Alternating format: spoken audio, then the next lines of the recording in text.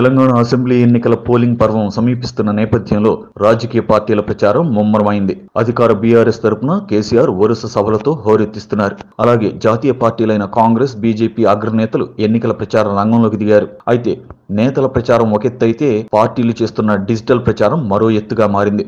ప్రస్తుత డిజిటల్ యుగంలో ప్రచార వ్యూహాలు పూర్తిగా మారుతున్నాయి. బీఆర్ఎస్ గత మూడు నెలల నుంచే డిజిటల్ ప్రచారం మొదలుపెట్టింది. బీజేపీ కూడా గత నెలలోనే డిజిటల్ ప్రచారాన్ని ప్రారంభించింది. ఆ పార్టీ డిజిటల్ ప్రచార రథాలను ప్రజల్లో తిప్పుతోంది. ఇక కాంగ్రెస్ పార్టీ లేట్గా అయినా లేటెస్ట్గా డిజిటల్ ప్రచారంలో దూసుకుపోతోంది. అయితే టెక్నాలజీని గట్టిగా ఫాలో అయ్యే బీజేపీ మాత్రం ఈ ప్రచారంలో వెనకబడింది.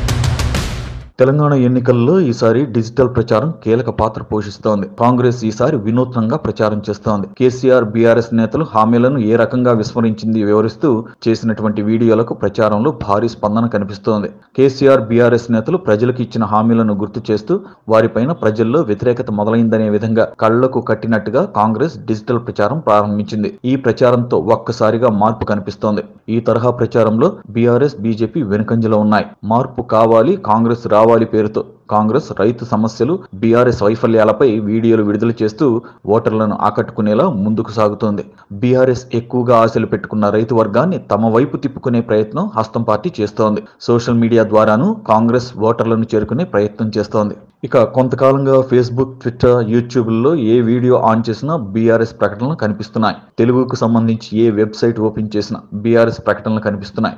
ఎక్కడ చూసినా డిజిటల్ మీడియాలో గులాబీ ప్రకటనల హోరు కనిపిస్తోంది.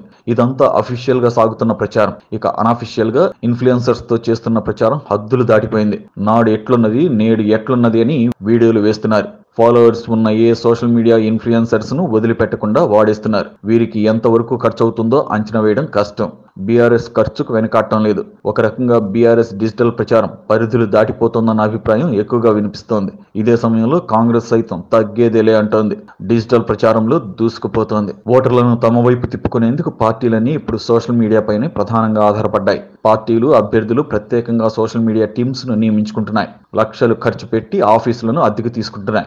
సోషల్ మీడియాలో అలాగే రాజకీయాలపై అవగాహన అనుభవం ఉన్న వారిని తీసుకున్నాయి. ప్రత్యర్థులను టార్గెట్ చేయడానికి తమ తరపున ప్రచారం చేయడానికి సోషల్ మీడియాను విపరీతంగా వాడేసుకుంటున్నాయి. ఏ పార్టీ అభ్యర్థులైనా ప్రచారం కోసం భారీగా ఖర్చు పెట్టేందుకు వెనుకాడటం లేదు. డిమాండ్కు తగ్గట్టు డిజిటల్ పొలిటికల్ మార్కెటింగ్ ఏజెన్సీలను నియమించుకున్నాయి. ప్రచారానికి ఎన్ని రకాల అవకాశాలుంటే అన్ని దారులను ఉపయోగించుకుంటున్నారు. ఇప్పుడు అందరి చేతిలో స్మార్ట్ ఫోన్స్ ఉన్నాయి. ఇదే ఇప్పుడు ఈజీగా ఓటర్లకు చేరువయ్యేలా చేస్తోంది. అందుకే డిజిటల్ ప్రచారానికి పార్టీలు భారీగా ఖర్చు పెడుతున్నాయి. రాజకీయ పార్టీల ప్రచారంలో కీలకంగా మారిన సోషల్ మీడియా అభ్యర్థుల గెలుపోటమును శాసిస్తోంది.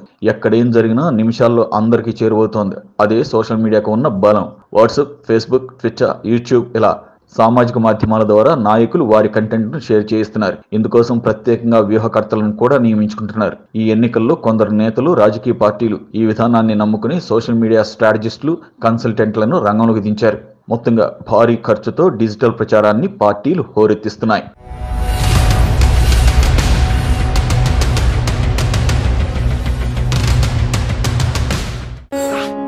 ఓటు వేయడం మన హక్కు మన బాధ్యత. ఆ ఓటు ఉందో లేదో కూడా చూసుకోవడం మన బాధ్యతే. మన ఓటు గల్లంతయింది అంటే మన ఆస్తిని ఎవరో కొట్టేసినట్లే. వెంటనే మీ ఓటు ఉందో లేదో ఎక్కడుందో చెక్ చేసుకోండి.